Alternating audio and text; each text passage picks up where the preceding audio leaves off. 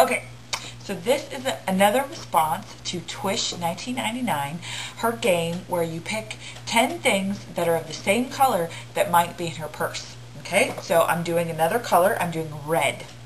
Okay, the first thing that you have in your bag, Twish, is some Stop the Itch Pain stuff, okay?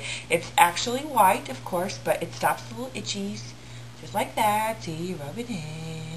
And now my hand won't itch. Not that it was itching before, but okay. All right, the next thing you have in your bag is a Sharpie, and it's red, and I'm not going to write on anything because then I would mark myself all up. Here, no, see, I'll write. I'll do it. I'll do it for the cause. See? Red.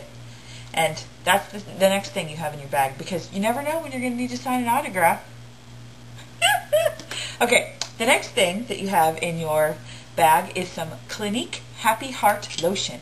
It's red and pink and it smells delicious. The next thing that you have in your bag is some Tylenol. Extra strength pain relief acetaminophen. It's not actually Tylenol, but it's red. See? This is when you get headaches from watching too many Luka videos. Okay?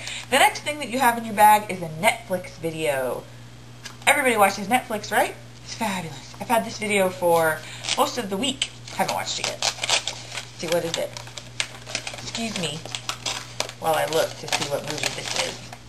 You have Eddie Murphy's Delirious in your bag, Twish. That's what you have. All right, the next thing you have is a red pen. That works. Hee hee see. There you go. Red pen. The next thing that you have in your bag is red lipstick.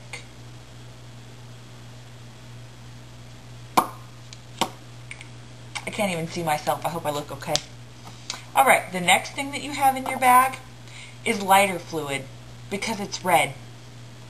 And the, the next thing you have in your bag is an empty pack of cigarettes that are not yours but your husband's and they're also red. I know, I've seen you smoke.